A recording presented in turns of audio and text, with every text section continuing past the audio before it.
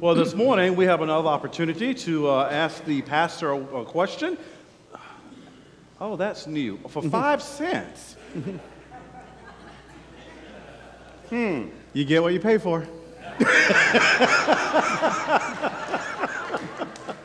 Well, let's see how much we get this morning. uh, someone, uh, we got a good question here, and uh, we're just going to kind of read it off to you and let you respond to it, and we'll go from there.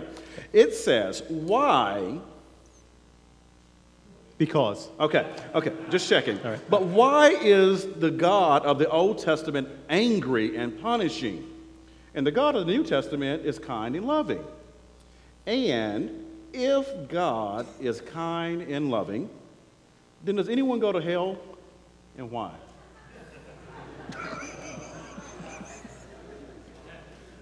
That's 10 cents worth, I think. Yeah. okay, so what was it? No, no, no, I got it. I got it. Um, yeah, yeah, no. But first it was that. Why is, why is God all Angry. angry and nasty and whatnot? Uh, and then not. Actually, the Gnostics asked that question. The Gnostics thought uh, that the God that they saw in the Hebrew Scriptures was sort of incompatible with the God of the New Testament. And they, con- they concluded that there must be two gods a good God and a bad God. And um, the, uh, that was not the majority opinion in the early church, and so that was considered a heresy. And, and uh, so councils uh, started hammering out creeds, which is why uh, there's a creed that says we believe in one God. Uh, the, the Gnostics thought, well, there's a good God and a bad God. The good God made the heavenly stuff, the bad God made the earthly stuff. And so the creed says, we believe there is one God, creator of heaven and earth, all that is, seen and unseen. And so the, the creeds were actually sort of a, uh trying to silence this idea that there was a good God and a bad God. Uh, heavenly, you know, heavenly things are good and earthly things are bad.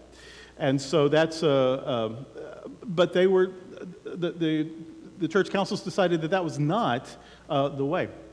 The truth is, the reason we see an angry uh, God in one set of scripture and then that God sort of mellows out as God matures, as God gets older, as the community gets older, as the tradition ages. Same, re- same reason why uh, there's there, the terrible twos versus you know mellow middle age. Um, that that people express themselves according to who they are, according to their cultural norms, according to the traditions they've inherited. And so I don't think God has changed. I think God is always good, God is omnipresent goodness, and yet uh, we haven't always understood that. And so people are always talking about God using the language they have and the understanding they have. Also, according to their cultural norms, they're all trying to say a similar thing, I think. They're all trying to express the goodness of God. So in the Hebrew Bible, when we read an eye for an eye and a tooth for a tooth, that isn't saying go out and, and make everyone blind and knock their teeth out. What that is saying is if someone does something to you, don't respond in greater measure. It's a way of keeping people from being too abusive, too aggressive, too hateful. And so, since we worship a loving God, you should never uh, treat people worse than they've treated you. Now, Jesus, thousand years later, uh, raises the bar a little bit and says, you know what, somebody hits you, just turn the other cheek, walk away if you can. He still confronted injustice. He still, you know, made a scene in the temple and whatnot. But uh, he wasn't a weakling. He wasn't uh, overly passive. But he also was saying there's, you know, if you really just hate someone, that's the same motivation that causes you to murder. So it's not just enough to say I didn't kill someone.